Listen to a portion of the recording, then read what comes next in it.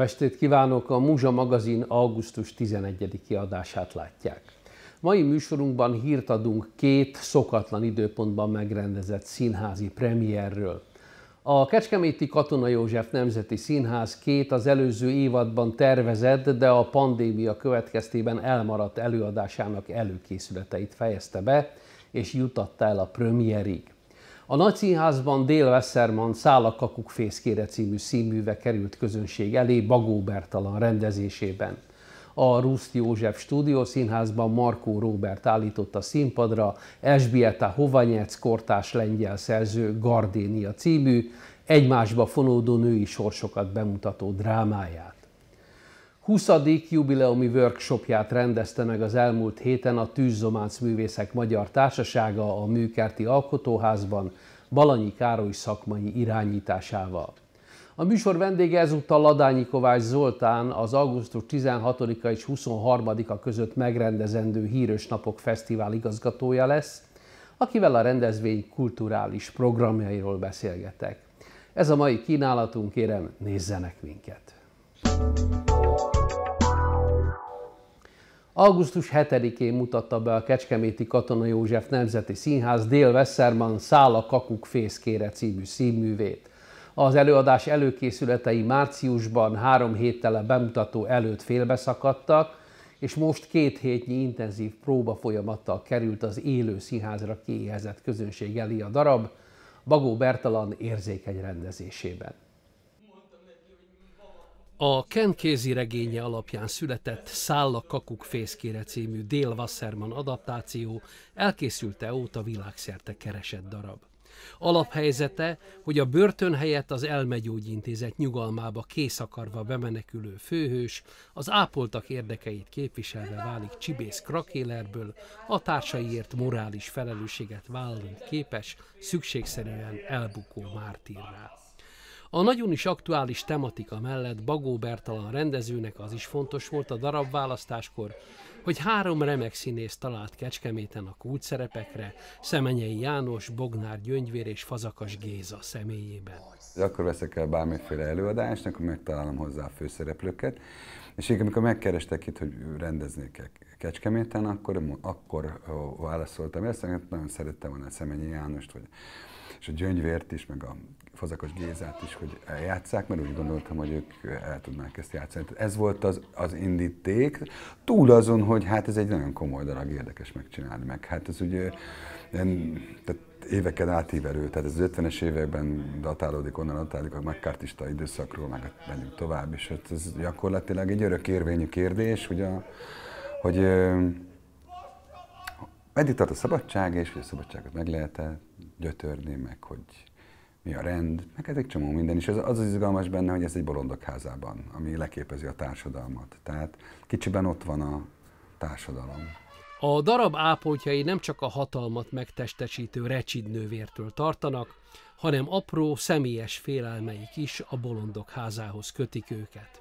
Ki az édesanyja rosszallásától tart, ki a dominaként viselkedő feleségétől, és van, akinek csak a háttérből sejlik fel valami takargatni valója terheltek persze a, a szereplőim is, mindenki, meg a normálisak is, tehát azért nézzünk közel, eléggé terheltek vagyunk mi is a világban, tehát azért azt, azt lehet mondani, csak nem annyira klinikai eset, mint amit most látunk. És nagyon érdekes dolog, hogy ugye a, a recsin nővér, a főhatalom, azt gondoljuk, tehát hatásában ő a főhatalom, holott pozíciójában fölötte lenne az orvos. De nem ez a lényeg, hanem neki is van takargatni valója. Tehát ott is, ahogy, ahogy, ahogy próbáltuk a Lacival megcsinálni az orvost, hogy, hogy valószínűleg narkós, vagy valami kábítószer, tehát van valami a füle mögött, amit, amit tud, és ki is használ a recsid nővér. És van egy egészen fura dolog ez, hogy, a, hogy ő nem a teteje valaminek, hanem egy, hanem egy része, de mégis ő irányít. Tehát nem mindig az a legerősebb hatalom, aki a tetején van valaminek, erről is szól, hanem az, aki tudja hasznosítani, és tudja, tudja kiélni, vagy gyakorolni a hatalmát az embereken. Mi célból? Hát, hogy a... hogy... Uh... Abból a célból, hogy újra tárgyaljunk, újra szavazzunk a tévé idő délutára való áthelyezéséről. Értem. Na, jó? Egy pillanat, Mr. McMurphy. Ki érzi úgy, hogy Mr. McMurphy ráerőlteti a saját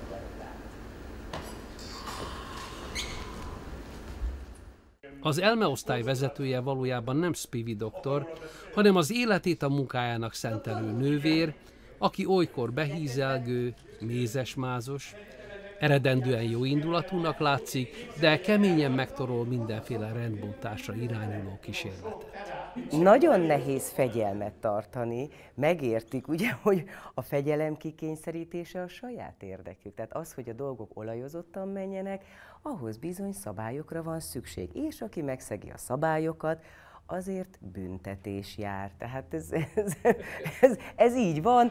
Tehát szerintem igazam van. Na, nyilván félretéve a viccet, tehát nyilvánvalóan én azt gondolom, hogy nem valaki nem eredendően gonosz, hanem ide kerül, és, és, és beszűkül az élete az évtizedek alatt erre a közegre, és ő ebben szeretné megtalálni az örömet, ebben szeretné megtalálni a rendet, a nyugalmat, azt, hogy minden sima legyen, és, és, és puha, és, és rendes. Tehát ez, ezért, ezért neki ezért kell dolgoznia, és ezek az eszközei.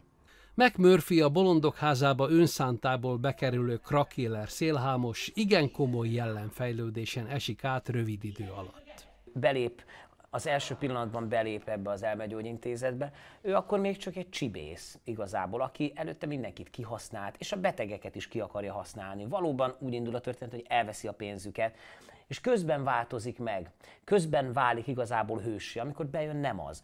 Persze van ez a fajta jelenfejlődés, az, hogy színészként ez hogy történik meg bennem, hát ez, ezen dolgoztunk igazából most több hónapot, ugye, mert ugye a, a karantén, ez a krízis helyzet, ez megszakította a próba folyamatot, de szerintem nagyon-nagyon jót tett a produkció szempontjából, Éred meg nekem is színészként, igen, hogy tudott érni egy kicsit. Tehát igazából pont a felénél hagytuk abba, amikor már épp elkezdtünk volna belemelegedni. McMurphy hihetetlenül jó hatással van az ápoltak önérzetére. Talán azért, mert pontosan úgy bánik és beszél velük, mintha teljesen normális emberek volnának.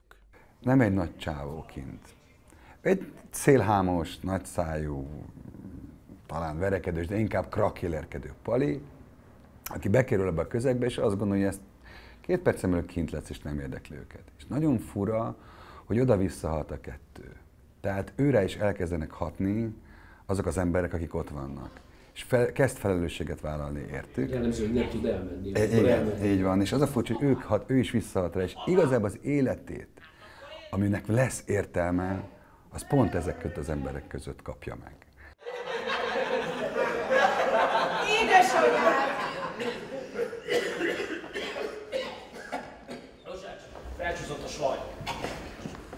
Szemenyei Jánost az alkata nem feltétlenül predestinálja McMurphy szerepére, de Bagó Bertala benne találta meg azokat a színészi kvalitásokat, amelyek a fejében létező figurát a leginkább megtestesítették. Nem ilyen típusú emberekre hozták a McMurphy-t, hanem egy nagyobb férfi. És nekem az izgatott benne, ez egy férfivé érés is. Van egy ilyen fiatal ember, és egy férfivé érik a darab végére. Megpróbáltam attól elvonatkoztatni, hogy alapvetően nem az én karakteremre szokták osztani ezt a szerepet. Igen, de én kifejezetten szeretem az ilyen kihívásokat, és bíztam abban, hogy Berci, Bercinek, akivel már többször dolgoztunk együtt, van egy olyan víziója, amivel közösen létre tudunk hozni valami izgalmasat, és amitől ez igazán személyes lehet, hogy ne egy olyan McMurphy-t játszak, aki nagyoskodik, férfiaskodik, és teljesen hiteltelen lenne azt elképzelni, hogy mondjuk én neki megyek a két ápolónak, akik egy fejjel magasabbak nálam és szélesebbek, tehát valahonnan teljesen máshonnan kellett ezt nekem megfogni. Talán onnan, hogy a nagyság és az erő és a férfiasság az nem feltétlenül külsőséges jegyekben nyilvánul meg, hanem belül van. A darabot domináló Recsid nővér mindvégig férfias rivalizálásban van McMurphyvel, és küzdelmükben igen nagy a tét. Az egész intézetet elveszítem, tehát az, hogy, az, hogy valaki, azt nem szoktam meg. Felállítottam ezt a rendet, nem szoktam meg, hogy valaki belém gázoljon, valaki megkérdőjelezze az én ö, szabályaim, az én döntéseim helyességét. Hogy valaki ellent mondjon, hogy valaki fölálljon csoportterápián, és ne üljön vissza, valaki belebeszéljen. tehát nem az, hogy, hogy ő kilóg a rendből, ez valami elképesztő dolog, és ezt, ezt, nem, ezt nem lehet tűrni. A nővér elszántan törekszik elveszített pozíciói visszaszerzésére, de a hatalom akarása mindettől függetlenül is igen erős benne. Nyilván ez ad neki tartást. Nincs gyereke, nincs férje, nincs senki, se kutyája, se macskája, semmi. Ő neki az ad tartást, az ad örömet, az ad életcélt, hogy ebben az intézetben ő rendet tartson, ezt vigye előre, és mindenkit, aki jön, azt be tudja tenni egy dobozba. Nyilván nem teljesen normális ez a nő, mert hát ezt lehetne azért más eszközökkel is, de, de hát ez, ez ad neki biztonságot. És ő mindenki, minden áron azon belül akar maradni. McMurphy kezdetben úgy hiszi, hogy a Dili házból is épp úgy szabadul majd ideje lejártával, mintha börtönben lenne. Amikor szembesül vele, hogy akár évekig is bent tarthatják, egy időre meghasonlik, de nem lesz belőle is remeterák. A társaiért érzett felelősség és cinkossága az indián főnökkel nem engedi távozni az intézetből. Tisztában van vele, hogy az életét kockáztatja, amikor emberként bánik ápoltársaival. Persze, ő tisztában van azzal egyébként, hogy ők bolondok, tehát ő tudja, hova jött. Persze, ez elején meglepődik, hogy ki ilyen bolond, ki olyan, de természetesen ez arról szól, hogy emberként kezeli őket, és, és úgy kommunikál velük, és azt erősíti bennük, hogy vannak döntéseik. Tehát, hogy, hogy tegyenek, hogyha vannak döntéseik, akkor tegyenek is érte legfontosabb igazából mindenféle aktuál politikát figyelmen kívül hagyva, nem akarok semmit bele, beleven, belevinni ebbe, de hogyha igazságtalanságot észlelünk, akkor ez a darab példája annak, hogy fel kell állni, és meg kell mondani azt, amit gondolunk, és akkor ha jól sikerül, akkor jönnek veled az emberek. Mint például az indián is, ugye a darab végén megfogja azt a hatalmas tömböt, és kivágja az ablakot, és kimegy. De másokban is minden bizonyal a McMurphy személyisége megfordít dolgokat. És ha igazságtalanságot érzünk, ha ez a, ezt a hatalom csinálja, akkor is, akkor is fel kell állni, és meg kell mondani, a, amit, amit gondolunk, maximum bedarálnak. A márciusban kettétölt próba folyamat ugyanolyan jó hangulatban folytatódott, mintha mi sem történt volna. Konfliktusok nélkül a kölcsönös tisztelet jegyében. Nagyon sok helyen dolgozom, tehát hála Istennek nagyon sok színházba veszek részt, és az érdekel is, hogy akkor egy új közegben hogyan tudom elérni a, azt, amit szeretnék. Tehát ahol mondjuk először látnak, vagy először találkozunk, úgyhogy valójában hallottak rólam, de amikor először találkoznak velem, és akkor hogyan tudom elérni az ismeretlen terepen, ismeretlen emberekkel azt, amit én szeretnék. És hát úgy gondolom, hogy úgy ha, tudtunk egymással. A Berci csupa, csupa emberség, tehetség és derű. Egy ilyen brilliáns ötvözet, nagyon jó vele lenni, nagyon jó mellette lenni, nagyon, nagyon szereti a színészeket és az életet és a színházat, és nagyon-nagyon nagyon jó vele dolgozni. A fontos mondandójú, ugyanakkor nagyon szórakoztató előadást csupán augusztus 28-áig, de összesen 22 alkalommal Answeet játsza a színház. Érdemes jegyet váltaniuk rá a nagy meleg ellenére is. Esbieta Hovanyec fiatal lengyel írónő darabját mutatta be augusztus 8-án a Ruszt József Stúdió Színház Markó Robert rendezésében. A premiért még az előző évadra tervezték, de a pandémia felülírta a műsorrendet. Most a szeptemberi évadkezdést megelőzően vette elő újra a színháza félkész előadást, hogy kielégítse a darab iránti felfokozott várakozást. A könnyarcodon még álmodban visszajár. A Gardénia közép-kelet-európában játszódó családi dráma négy egymást követő generációba tartozó nő életének egymásba fonódó és szinte sorsszerűen kisiklásra ítélt története. A szerző Elzbieta Hovanyec az összefonódó női sorsokra koncentrál, műve mégsem feminista indítatású, hiszen az anyalánya relációkból rendre hiteles emberi sorsdrámák bontakoznak ki. Családi viszályok, alkoholizmus, a gyereknevelés dilemmái, a nemzedéki tapasztalatok átörökítése. Markó Robert rendező már nem először találkozott az izgalmas alapanyaggal. Ebből volt egy felolvasó színházi előadás 2012-ben a Kortárs Drámafesztivál, amikor Pászt Patricia, aki a Krakói Magyar Centrumnak az igazgatója, és a lengyel ügyeknek a nagy előmozdítója Magyarországon, ő fordította és hozta be Magyarországra ezt a darabot, egyéb másik lengyel darabokkal együtt.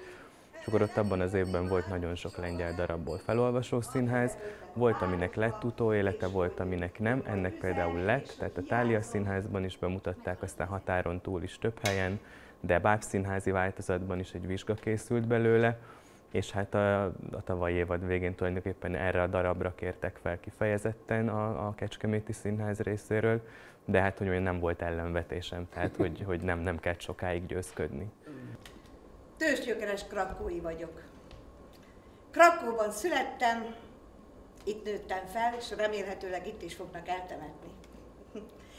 Tudom, mi az a smarni, a flódni, meg a cvibak, és büszke vagyok rá, hogy tudom. Nagyon eltalál egy olyan témát, vagy létállapotot, vagy egy olyan történetet, ami nagyjából mindannyiunknak a családjában megtörtént, vagy legalábbis hallott, szerencsésebbek csak hallottak olyanról, vagy messziről láttak olyat, ahol ez megtörtént, de hogy nagyon, nagyon szimptomatikusan tud valamit mondani a kelet-közép-európaiságról. Másrészt meg én nagyon szeretem a színészt a színházba, azt hiszem, hogy ők viszik mindig a balhét, tehát hogy hálával tartozunk nekik mindannyian, és hogy ebben négy olyan szerep van, ami tulajdonképpen mind a négy nagy játszható jó szerep, tehát ez egy kifejezetten színészes darab, tehát ilyen szempontból is nagyon közel állt az ízlésemhez. A Gardénia nő alakjai erősen tipizáltak. Nincs nevük, a szerző számokkal jelöli őket, első, második, harmadik, negyedik nő. Ám hogy közép-kelet-európában vagyunk, az nyilvánvaló. Alapjában ez máshogy történne egy latin vagy, vagy egy afrikai közösségben, tehát azért a kelet-európaisága az fontos. Az, hogy lengyel, vagy szlovák, vagy magyar, vagy román, az teljesen mindegy. Egyébként lett is a darabból elég sok még konkrétabb lengyel utalás kihúzva, pont azért, mert mondhatnánk Budapestet is. Markó Robert nem ragaszkodott ahhoz, hogy a színészek a fejében élő víziót minél maradéktalanabbul megvalósítsák, szívesen hagyatkozott az ötleteikre.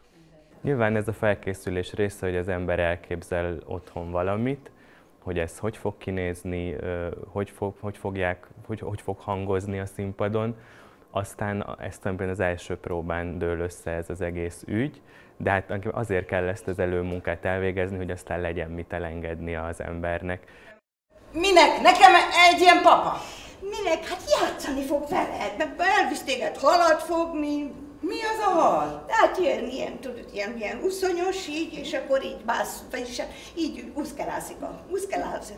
Tehát úszkál a tengerben. Sose láttál még halat? Mi az, hogy úszolj?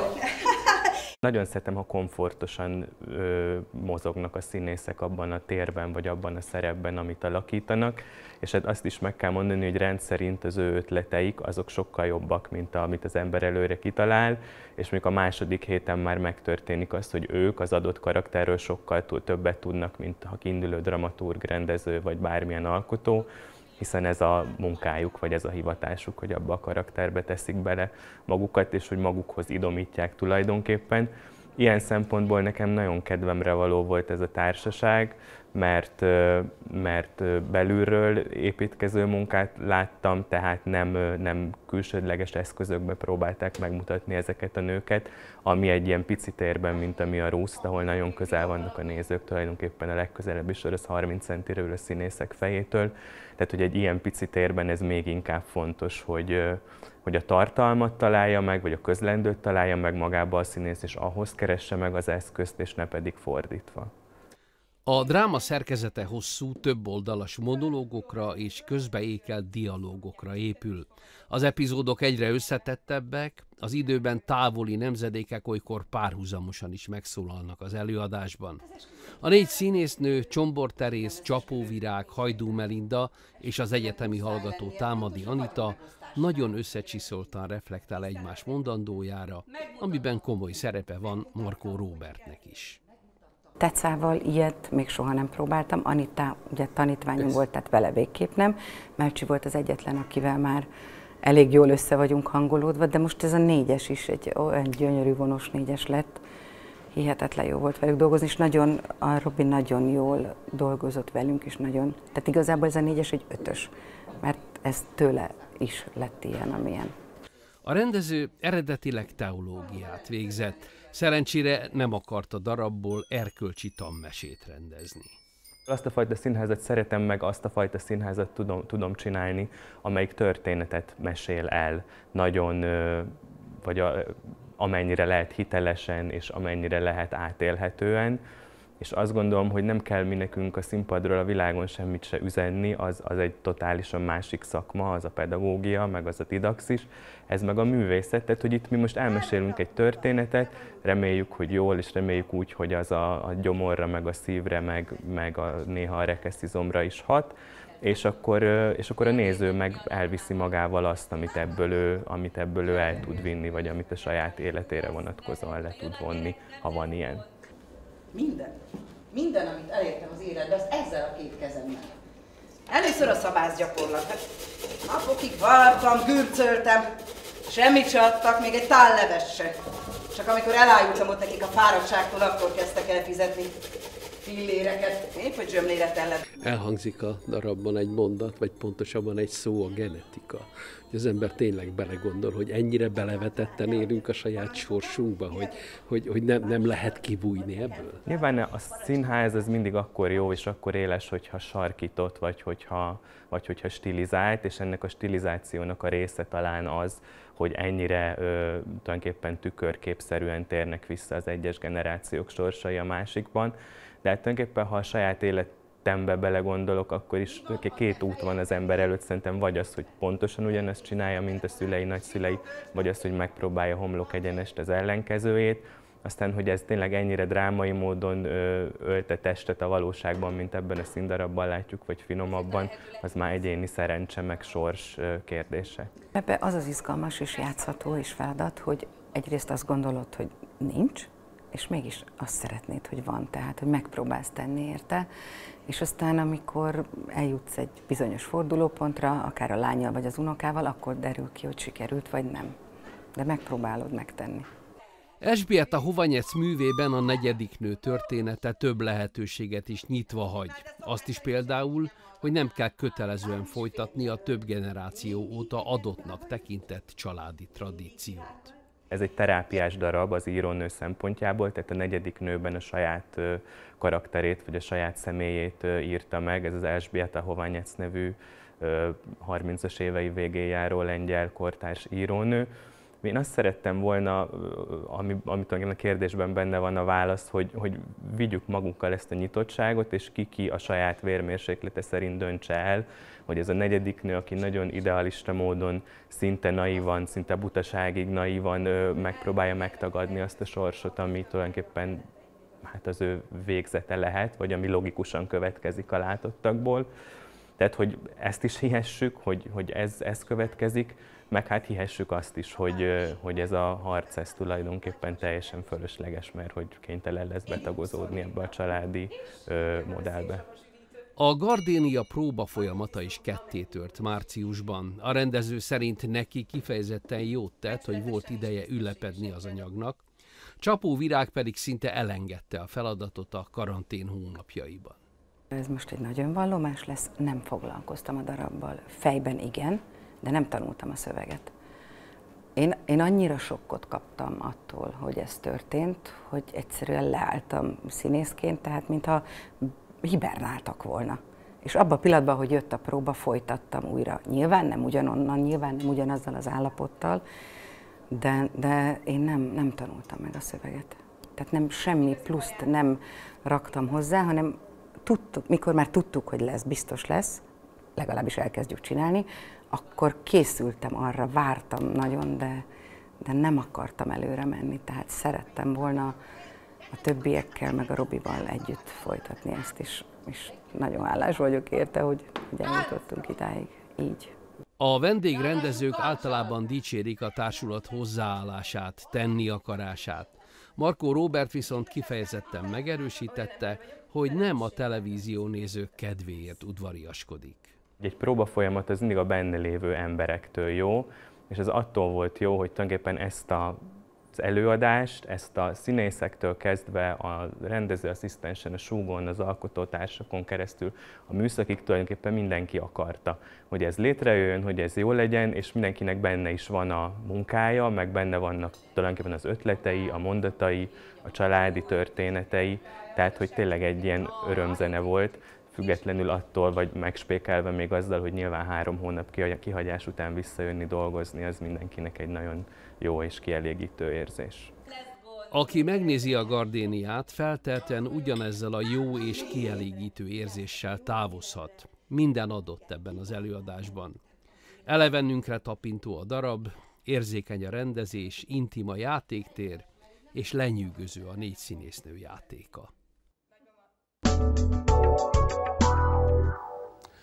Augusztus 16-a és 23-a között zajlik majd az idén a Híres Napok rendezvény sorozata. Vendégem Ladányi Kovács Zoltán fesztivál igazgató. Szervusz, köszöntelek Zoli.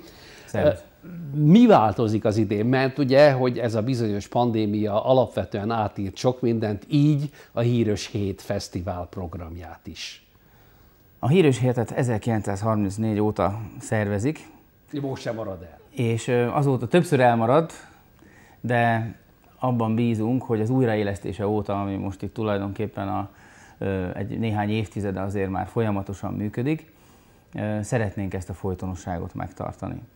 Természetesen odafigyelünk most a járvány helyzet miatti előírások betartására, ezért most egy pici aranyos híres hét fesztivált szeretnénk csinálni, pontosan azért, mert a, a közösség lét az egy ugyanolyan társadalmi igény, mint az, hogy rendben legyenek az utak, legyenek iskolák vagy óvodák Kecskeméten. Az, hogy a lakosság tudjon találkozni Kecskemét főterén, az egy társadalmi igény, és ennek szeretnénk megfelelni. Ez tulajdonképpen a nyár kezdő és nyár búcsúztató fesztivál lesz, hiszen egyedüli fesztiválként rendezzük ezt meg. Egyelőre most egy kicsit alacsonyabb szinten van, a járvány ebben a magas hőmérsékletben talán egy kicsit kevésbé terjed, ugye mindenki az őszitől fél, illetve Ausztráliában most fellángol, de ne felejtsük, hogy ott most van tél, hiszen 9-10 fok van. Tehát nagyon bízunk benne, nagyon szellősen fogjuk berendezni, két méterenként teszünk egy sörpadgarnitúrát, nem csinálunk csak kis színpadot, Látjuk azt, hogy azért nagy koncerteken, a tavalyi Ákos koncerten 15 ezer ember a főtéren, a 0 km kőnél, ahol még a katasztrófavédelem előírásai szerint is négy embert számolunk egy négyzetméterre. Igen. Tehát ott azért tömörödnek, izzadnak, uh-huh. köpködnek, szurkolnak, egymás nyakába borulnak. Jól értelek, akkor erre most nem is És erre most nem lesz. Tehát ezért a színpadot a Tér a térben nevű kis helyre tettük el, amely az egykori sajtóház, vagy szabadságház előtti kis tér, ahol nem is férne el több, mint 400 fő, oda beteszünk egy kis színpadot, és különleges produkciókra kértük a zenekarokat. Ezeknek a különleges produkciónak a jelentősen nagy hányada az helyi erőkből állt össze. Azért van-e, mert hogy anyagilag is kevesebbetek van megrendezni a rendezvényt, vagy úgy gondoltátok, hogy épp itt az alkalom, hogy akkor a kecskeméti együttesek is kapjanak fellépési lehetőséget? A városvezetéssel azt beszéltük meg, hogy ami támogatási pénzt össze tudunk erre szedni, azt elsősorban a helyi vállalkozók, a helyi együttesek között ö, osszuk szét, és ezért ö, elsősorban a kiállítóknak is kedvezményt adtunk, és a kecskeméti együtteseket kértük fel kizárólagosan.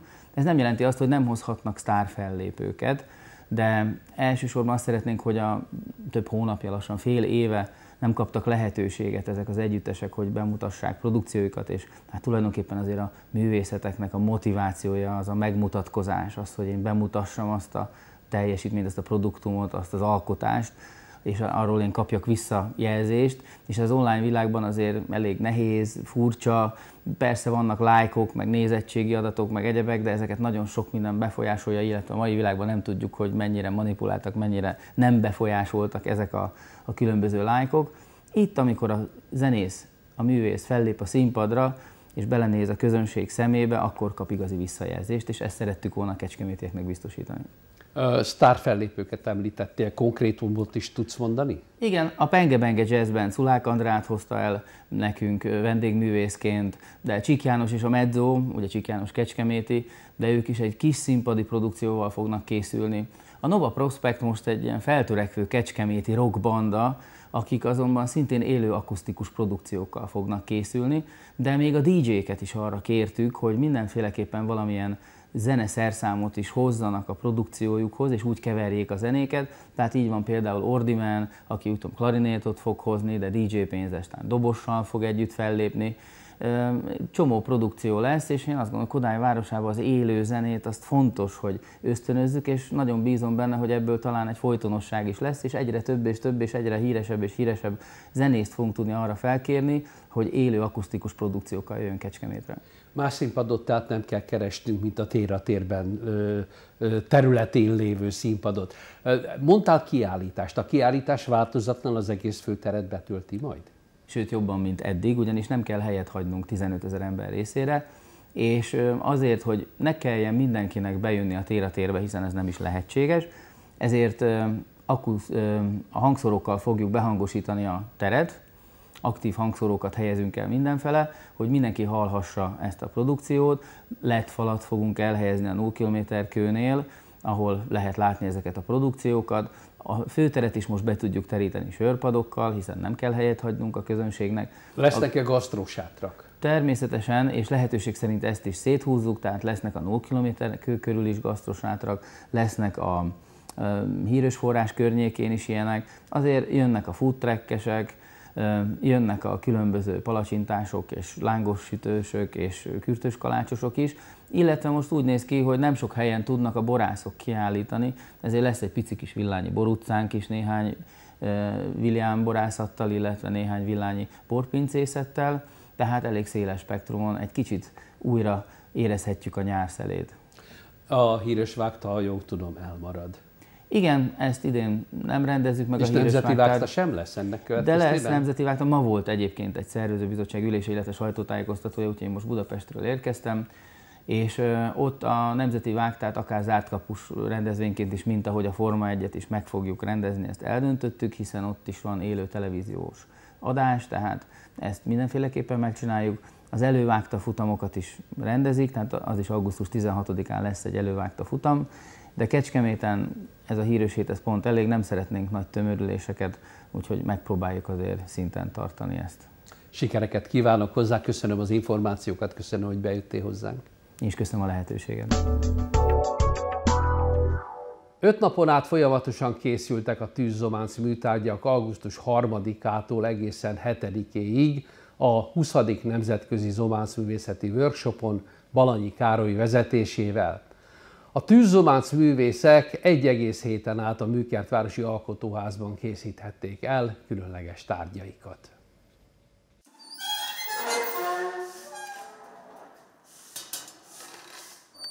Éppen a kemencébe került az egyik frissen készült alkotás augusztus 6-án a 20. jubileumi Nemzetközi Zománcművészeti Workshopon Balanyi Károly vezetésével. Augusztus 3-ától egészen augusztus 7-én éjfélig tartott a Műkertvárosi Alkotóházban. Eredetileg Budafokon a Zománc gyárba indult el, tehát gyári körülmények között zománcoztunk, és akkor ott még jóval többen voltunk, akár 15-20 ember is tudott úgy zománcozni, hogy közben ugye égették a kádakat, az zuhanylemezt, mi meg beakasztottunk egy képet az ipari termékek közé, de aztán 2010-ben a gyár bezárt és akkor keresnünk kellett egy új helyszínt, és akkor találtuk meg egy Kecskeméten. Jó, hát mi már régóta ismertük, ugye a Kecskeméti Alkotóházat, ami most a Magyar Alkotóművészeti Közhasznú Nonprofit Kft-nek a működtetésében zajlik, de hát ez eredendően a hagyományos Kecskeméti művésztelepnek a műterembérháza, és hát most már tizedik éve itt dolgozunk, ez gyakorlatilag nemzetközi a szimpózium, tehát a környező országokból a korábbi években is hívtunk kollégákat Németországból, Franciaországból, Csehországból, Oroszország, Román. Tehát sok művész kollega megfordult már ezen a workshopon az elmúlt években, de azért a törzsgárdát azt a mi egyesületünk, tehát a Tűzománc Művészek Magyar Társaságának a tagjai adják. Az ötnapos tábort minden évben a Tűzzománc Művészek Magyar Társasága szervezi, amelynek tagjai hazai alkotók vagy olyanok, akik a magyar zománc művészethez kötődnek. Ebben az évben a megszokottnál kevesebben, a 20 fő helyett mindössze 12-en vettek részt a workshopon. Körülbelül 30 éve, hogy zománcozom, nagyon szeretem, de a grafikát is párhuzamosan végzem, azt most már számítógéppel készítem. Az itteni munkáim egyrészt olyanok, hogy félkész munkákat hoztam el, ugyanis nem sikerül befejezni néhány nap alatt a munkákat, tehát a nagyméretű munkák, amik otthon nem férnek be a kemencébe, ezek összegyűlnek. Tehát hoztam otthonról négy-öt befejezetlent, és azt folytattam, és azon kívül körülbelül négy-öt új munkát is elkezdtem. Egyszerre párhuzamosan többet kell csinálni, mert egymásra várakozunk, illetve a száradási idő, meg ezek a technikai dolgok megkívánják, hogy az ember folyamatosan agyilag két-három munkát próbáljon egyszerre fejben tartani. Ez egy vegyes technika, de főleg festő, zománc, és egy kevés rekesz van benne azért, hogy a, azért, hogy a, a forma az konkrétabb legyen. A művészek különböző tematikával készítik műveiket. Van, aki geometrikus elemekkel dolgozik, vagy éppen sárkányok szerepelnek a műtárgyon. Geometrikus dolgokat készítek, színben próbálom összehozni, nagyon finom rétegeket fújok, és ezek egymásra kerülve és összeolvadva nagyon szép színskálát hoznak létre. Balanyi Károly a Tűzománc Művészek Magyar Társaságának alelnöke például egy sorozatot hozott az eseményre. Ez egy gyermeksorsokról szóló sorozat, ami hat táblából áll, és annak az első tábláját talán most ki tudom már égetni. A kollégák pedig, hát mindenkinek megvan a maga világa, vagy geometrikusabb, elvontabb, vagy részletezőbb, miniatúra-szerű. Tehát az ománc az nagyon sok mindent tud, nagyon gazdag a műfaj, és az itt lévő kollégákat gyakorlatilag a festészetből, a grafikából, vagy más műfajokból csábítottuk el, mivel hogy felsőfokú művészeti képzés nincs már az országban, de azért itt-itt ragadnak, mert ez egy olyan műfaj, ami rengeteg titkot hordoz. Tehát amikor én fölfestem az ománci szapot és megszerítem, annak egészen más színe van, mint amikor kiégetem.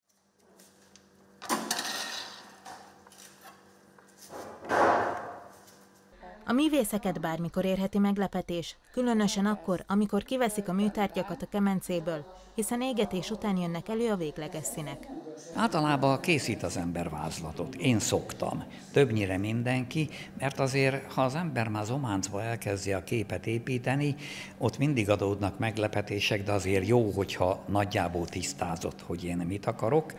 Én például általában meg is csinálom a konkrét terveimet, mert én az ománc művészetnek egy olyan ágát művelek, amit senki más nem csinál ebbe a szakmába. A textilesek használják, a grafikusok használják a szitanyomást. Én grafikusként jöttem az ománc műfajba, és az ott használt szitanyomás technikát hoztam ide át, mert hát kiderült, hogy az ománc anyagok közt is vannak olyan paszták, amik szitanyomásra alkalmasak. Hát ezt az ipar kikísérletezte, ők ugye az edényekre a kis dekorokat fölnyomják ezzel, és engem meg nagyon izgatott, hogy ez vajon az ománcban mit tud, és hát kiderült, hogy a grafikai, rajzos dolgokon túl gyönyörűen tudja a fotografikát, még a rasteres nyomatokat is tudja, és ez egy ilyen nagyon izgalmas határterület az ománc művészetnek, amit hát én most már legalább 30 éve kísérletezem ezzel, de mindenki megtalálja ezen a műfajon belül a saját technikáját, ami az ő képi világához a leginkább autentikus és alkalmas. Nagyon gazdag az ománc művészeti műfaj, hiszen rengeteg titkot hordoz magában. A legnagyobb varázslat mégis az, amikor egy többnapos előkészítő munka után bekerülhet végre a mű a kemencébe. A gondolatnak, a szellemnek és az anyagnak a kemencében kell műalkotásá összeolvadnia, és ez mindig egy nagy misztérium, mondta el zárásként Balanyi Károly. Kedves nézők, ez volt a Múzsa augusztus 11-i adása, új műsorral legközelebb a jövő kedden, augusztus 18-án várom majd Önöket. Viszontlátásra! thank you